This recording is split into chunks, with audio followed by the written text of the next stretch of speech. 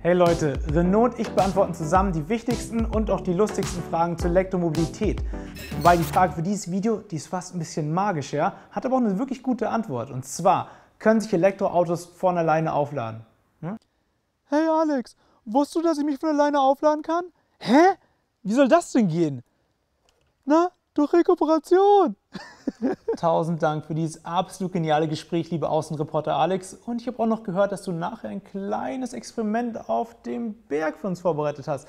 Okay, aber ich will jetzt einmal über Rekuperation sprechen, weil es wirklich eine geniale Sache ist. Überlegen wir uns mal, was passiert, wenn ein Auto mit Verbrennungsmotor bremst. Also eine Bremse wird über Reibung die Bewegungsenergie in Wärmeenergie umgewandelt und die verpufft dann, aber das Auto ist immerhin stehen geblieben. So, das Elektroauto schafft das Ganze eleganter, weil ihm der Elektromotor seine Funktionsweise auch umdrehen kann. Normalerweise nimmt der Elektromotor ja die Energie aus dem Akku und treibt damit das Auto voran. Er kann aber auch als Generator arbeiten und die Bewegungsenergie zurück in elektrischen Strom wandeln und das Auto wird eben so langsamer und im Akku kommt mehr Energie an, als vor dem Bremsmanöver da war.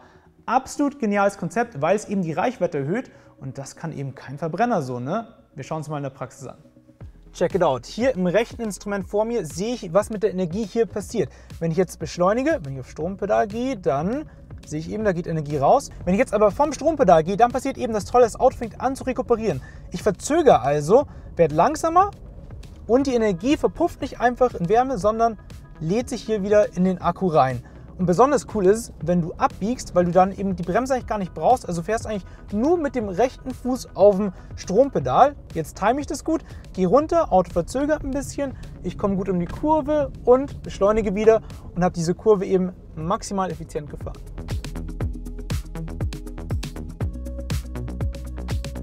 Zeit fürs Experiment. Oben vom Berg aus geht es jetzt kurvig einige Kilometer bergab. Da muss man auf jeden Fall auch bremsen, was aber auch wieder Potenzial für Rekuperieren bedeuten würde, oder?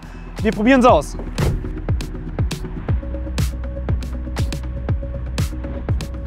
Bei den ganzen Fahrzeugen vor mir glühen wahrscheinlich schon die Bremsen. Ich habe noch nicht einmal auf die mechanische Bremse drücken müssen. Bloß rekuperieren bremst das Auto eben schön ein bisschen ab in der Kurve und äh, so schone ich natürlich auch die Bremsen und dementsprechend halten sie auch länger.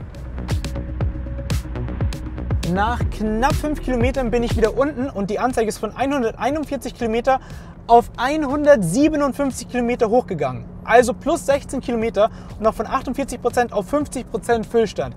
Ist doch wirklich der Wahnsinn, dass du beim Hybrid- und beim Elektroautofahren tatsächlich Reichweite zurückgewinnst, wenn du bremst und vor allem, wenn du bergab fährst. Schon ein Wahnsinnsvorteil, finde ich.